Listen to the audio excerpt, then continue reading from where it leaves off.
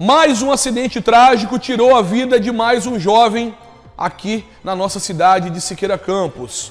Siqueira Campos em choque com a notícia ainda, porque um rapaz aí de apenas 20 anos na flor da idade, infelizmente acabou perdendo a vida de maneira trágica. Mais uma vez, mais um acidente. Eu trago para você todos os detalhes a partir de agora aqui na tela da nossa NPTV. As imagens para você desse acidente aí, olha só. E o um agradecimento especial ao nosso grande parceiro, Clarete Coutinho, certo? Que tem uma colaboração especial nessa notícia. Um trágico acidente vitimou aí mais um jovem na cidade de Siqueira Campos.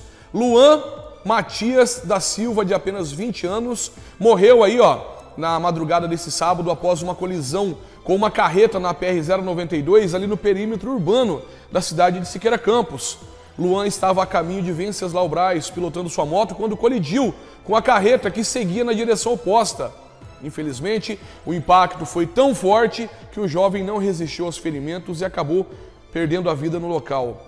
O local do acidente foi prontamente isolado para investigação e o corpo de Luan foi recolhido aí e encaminhado ao Instituto Médico Legal da cidade de Jacarezinho.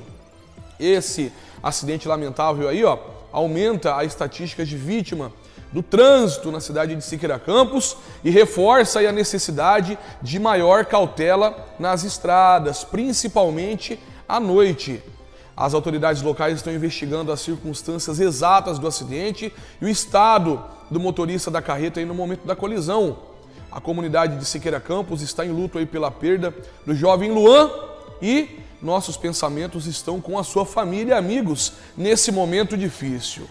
Tá aí para você, fica registrado então mais uma notícia aqui na tela da nossa NPTV, inclusive agradecer todo o pessoal que confia na nossa NPTV e manda os vídeos, as fotos pra gente. A nossa missão aqui na nossa NPTV justamente é essa, é a gente receber as, as informações parciais você presenciou alguma coisa? Você flagrou alguma coisa? Você tem alguma denúncia para fazer? Atenção, manda aqui para nós na NPTV que a minha missão há mais de 13 anos inclusive, é justamente correr atrás da informação e trazer na íntegra para vocês, tá ok? Eu sou o Tanilo Araújo, diretamente para a NPTV. Não deixe de compartilhar essa notícia e também de comentar. É muito importante a sua participação para que eu possa continuar correndo atrás das notícias e informações num plantão contínuo de 24 horas por dia, esperando a notícia chegar e trazer para você depois aqui na nossa NPTV. A busca constante por notícias e informações só acontece porque essas empresas acreditam no trabalho da NPTV. Utilize a NPTV para mostrar os seus produtos e também seus serviços.